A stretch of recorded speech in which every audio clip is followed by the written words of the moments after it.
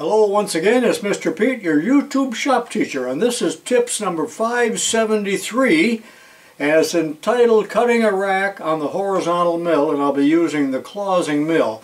Now, in the previous video, I cut a rack just like this on the Bridgeport Mill, and this is somewhat of a repeat, although it's all being done on a horizontal mill, which really is the more sensible machine to do it on, and I think you'll enjoy this, so stay with me.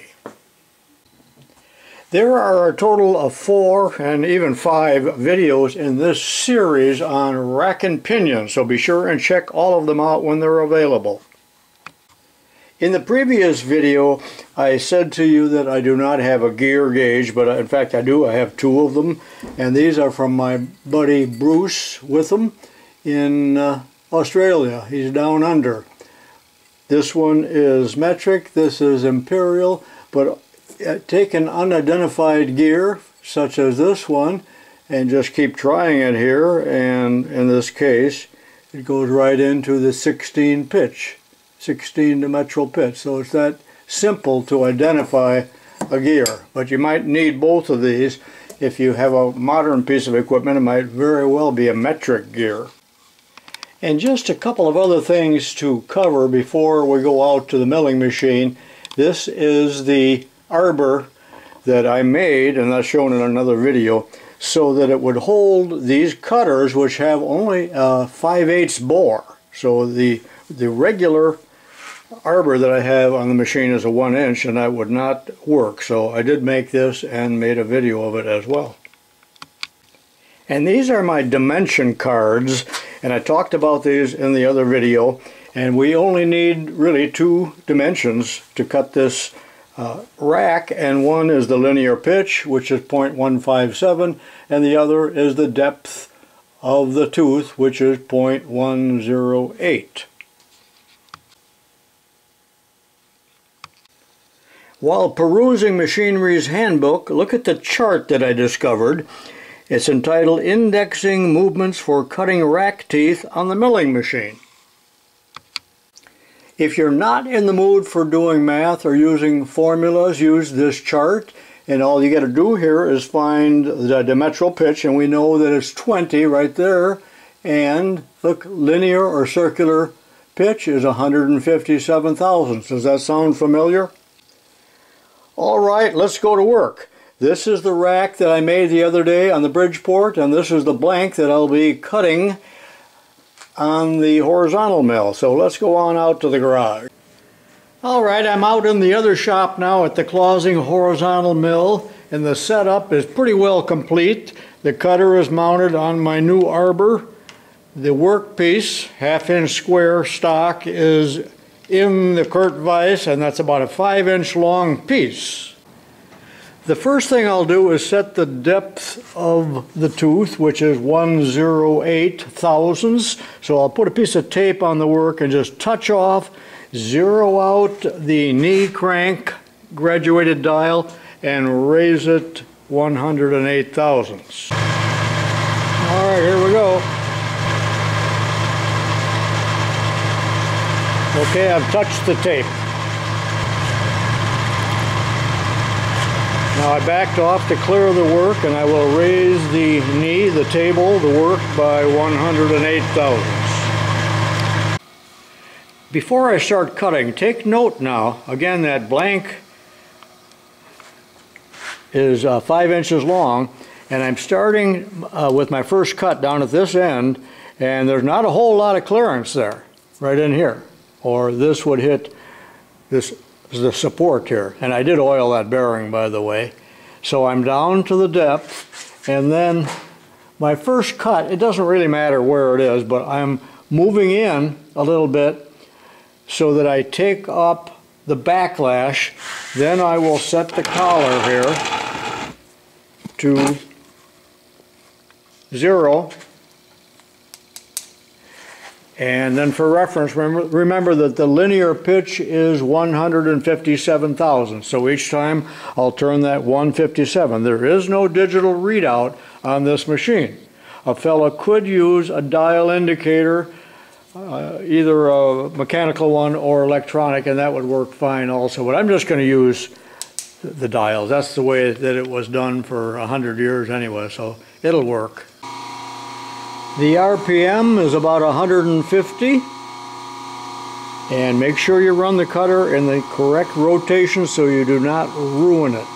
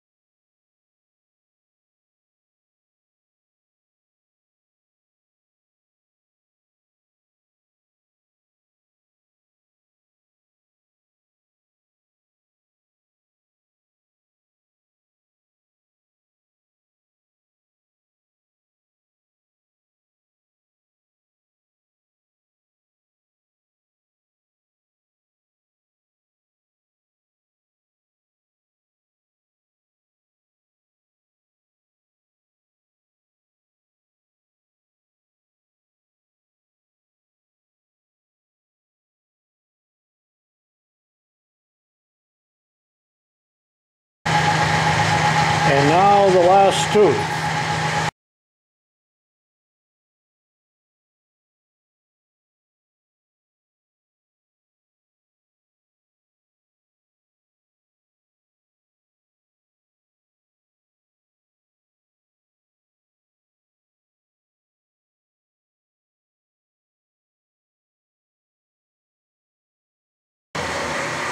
Well, that's it, and you can see why the uh, length of the rack is determined by uh, obstructions here and it would just about hit this end of the uh, the arbor. And that's a five incher so. I would say five inch is probably the maximum that I could cut on this little Clausing mill. Let's take it out and examine it.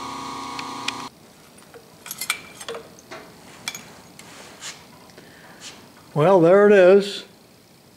And you can see that I actually used a, a piece of scrap for this. Because there's teeth on both sides. A double rack, I guess. All right, I'll clean it off and we'll go down the basement and, and uh, examine it. Well, I deburred it, cleaned it off real well, and it looks good. It matches up with the other one. I do not have a pinion yet in order to, uh, to check it. One little ding here. I just got to give you a disclaimer. Where the heck is that little ding? Anyway, there was a little bit of a peck of a drill mark in this when I started. This is used material. Well, now you know how to cut a rack on a horizontal mill and you know the limitations. That's about the length. I just said that while we were outside. I wish I'd have started with a better piece of stock, but it doesn't matter. This is the one I will use in the final episode. Now the following video will be on making the pinion, so be sure and watch that. That will be done on the Bridgeport mill using a dividing head. Success, I think. Leave a comment, a like, ring the bell, and all that good stuff if you're so inclined. This is Mr. Pete saying so long for now, and I'll see you next time.